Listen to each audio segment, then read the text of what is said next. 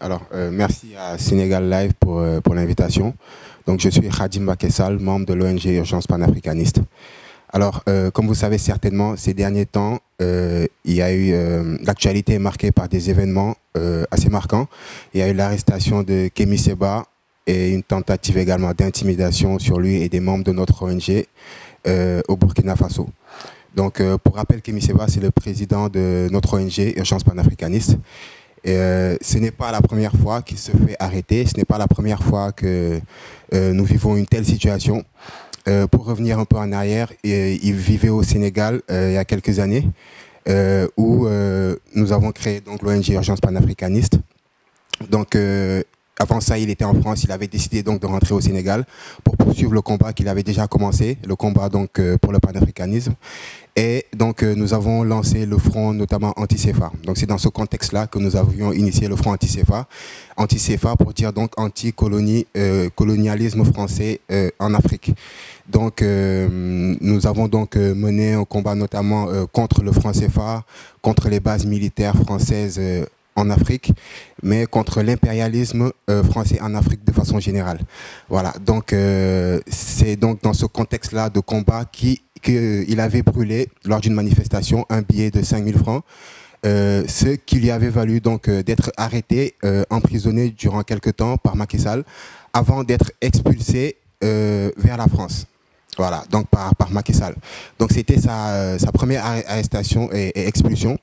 Voilà, donc c'est un événement vraiment qui, qui, avait marqué, qui avait marqué tout le peuple africain. Voilà, parce que le peuple aujourd'hui a, a, a, vu cet événement comme une sorte de trahison. Euh, on, se croirait, euh, tout simplement à, l'époque de l'esclavage où nos frères noirs étaient déportés. Et euh, voilà, là, donc la situation est pire parce que la trahison vient d'un des nôtres, notre propre frère, donc Macky Sall. Alors, après cela, bien entendu, après Kémy Seba, il est rentré au Bénin pour poursuivre le combat.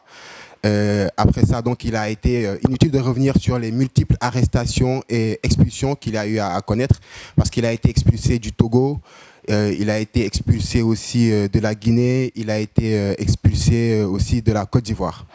Voilà. Donc, pour revenir sur l'actualité. récemment, donc, le 21 novembre dernier, Kémy Seba était au Burkina Faso euh, le 21 novembre, c'était donc l'anniversaire de Thomas Sankara. Donc euh, notre ONG, euh, tous les 21 novembre de chaque année, nous organisons des journées pour rendre dans nos antennes un peu partout, pour rendre hommage donc à cet homme-là qui était Thomas Sankara.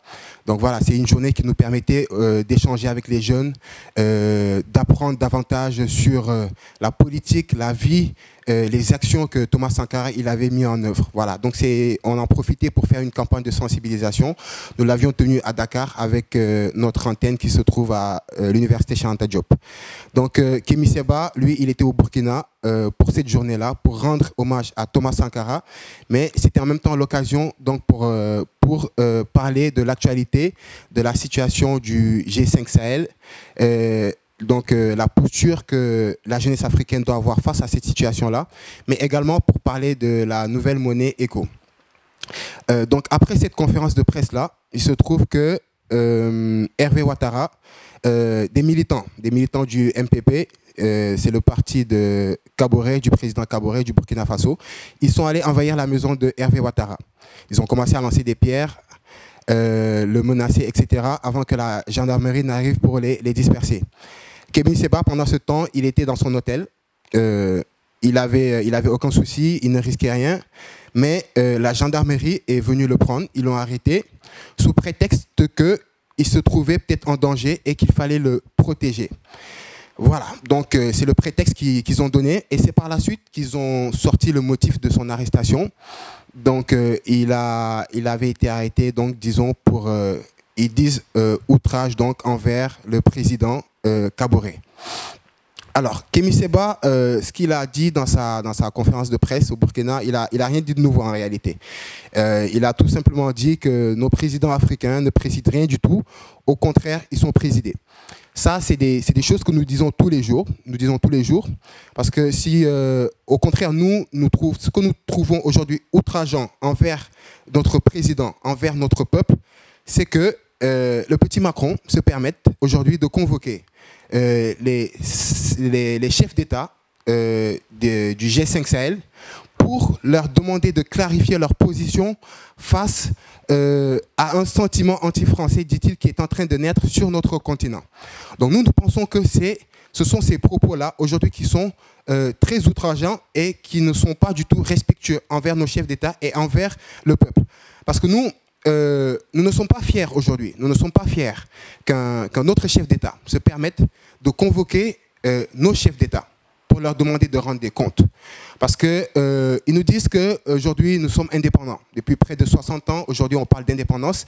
Mais aujourd'hui, l'ancienne puissance coloniale se permet toujours de convoquer nos chefs d'État de nous dire ce que nous devons faire ou bien ce que nous ne devons pas faire.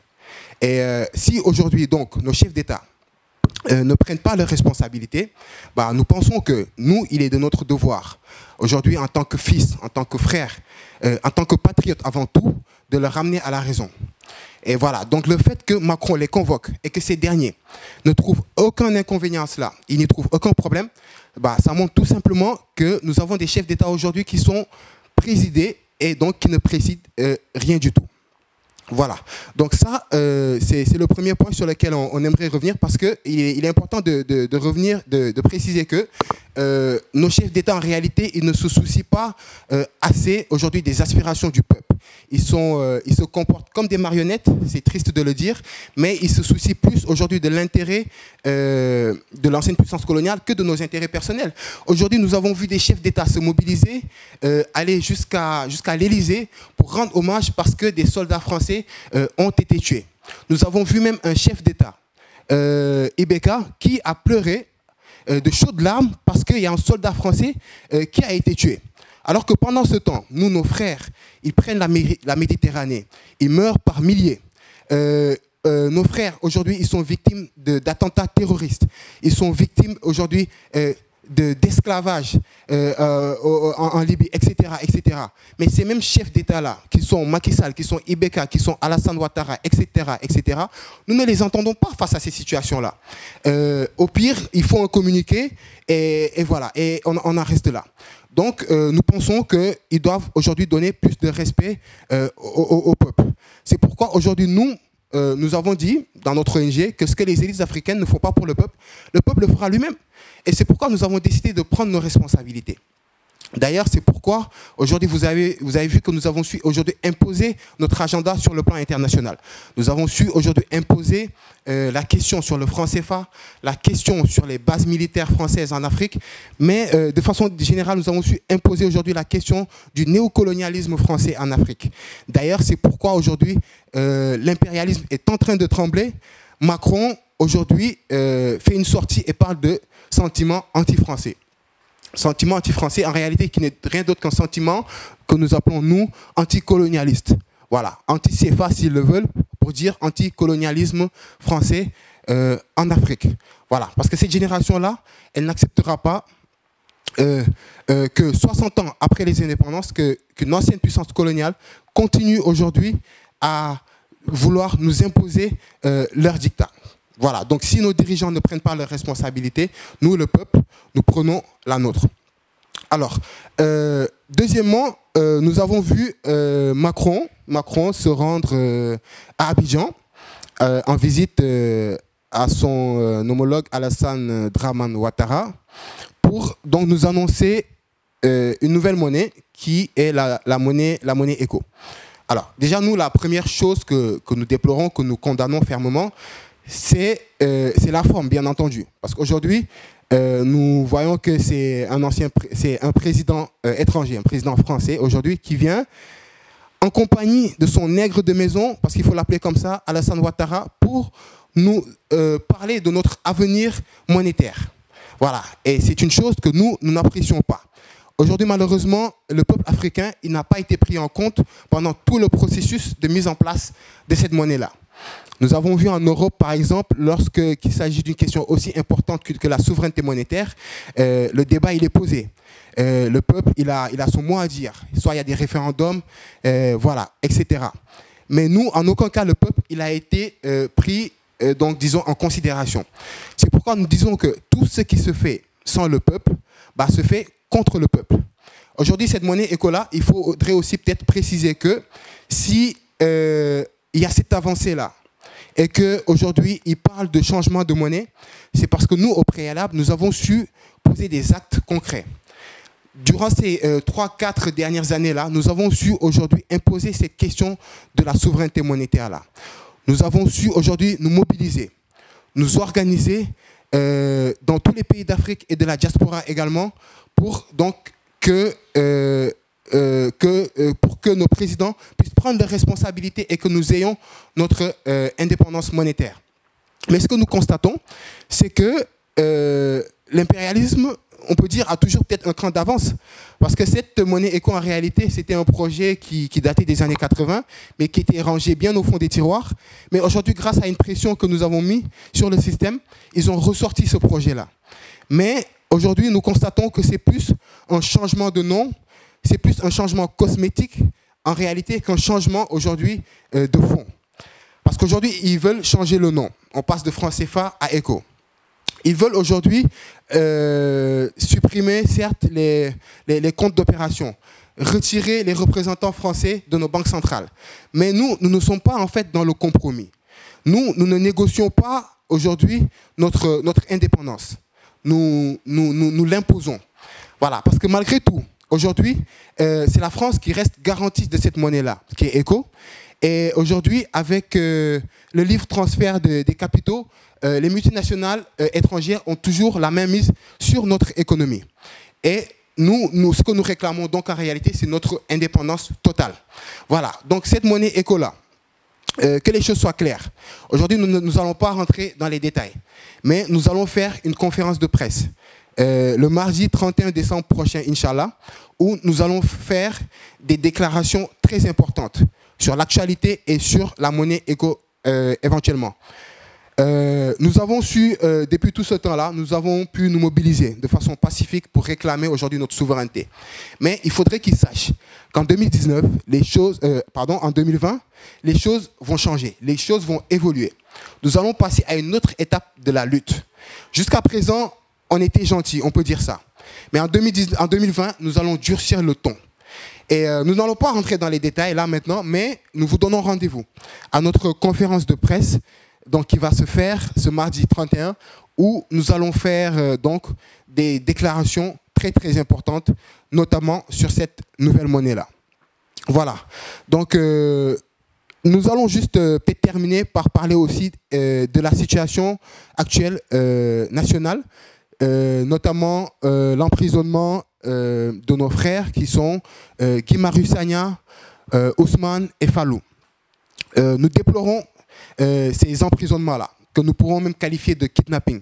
Parce qu'aujourd'hui, tout ce qu'on peut reprocher à nos soldats, c'est d'être sortis, d'avoir manifesté de façon pacifique contre l'augmentation des coûts de l'électricité. Parce qu'aujourd'hui, on veut nous faire croire, parce que la Sénélec a un manque à combler de 12 milliards de francs CFA, on veut aujourd'hui faire payer le peuple. En réalité, ils veulent nous faire payer tout simplement pour leur mauvaise gestion de l'État, pour leur malgouvernance. Parce que 12 milliards aujourd'hui, en réalité, ce n'est rien comparé au train de vie de l'État. Ils dépensent des milliards. Nous avons vu aujourd'hui, euh, ils ont des, dizaines et des dizaines, de ministres qui sont financés sous euh, l'argent du contribuable, euh, etc. Nous entendons toujours parler de détournement de fonds, de trafic de faux billets. Donc si en réalité, ils cherchent des gens qui devraient aller en prison, ils n'ont qu'à les voir aujourd'hui. ces gens-là qui sont des leurs, qui détournent les fonds du contribuable, qui trafiquent les faux billets, parce que ce sont ces gens-là qui méritent la prison et non non les honnêtes citoyens aujourd'hui qui se battent pour la liberté de notre, euh, de notre peuple, comme Guy Marie Sagna et nos deux autres soldats, Ousmane et Fallo. Voilà. Donc nous condamnons avec la plus grande fermeté aujourd'hui leur kidnapping et euh, encore une fois nous, nous réclamons, nous réclamons leur sortie dans les plus brefs délais. Parce qu'une action aussi euh, sera menée par Urgence panafricaniste dans ce, dans ce cadre-là. Les déclarations seront faites très prochainement et voilà, donc nous témoignons également toute notre solidarité à, la famille aujourd'hui de nos militants qui sont, euh, qui sont emprisonnés. Et nous donnons donc rendez-vous pour finir le mardi 31 décembre euh, prochain, Inch'Allah, où de très graves, de très importantes déclarations seront faites. Je vous remercie.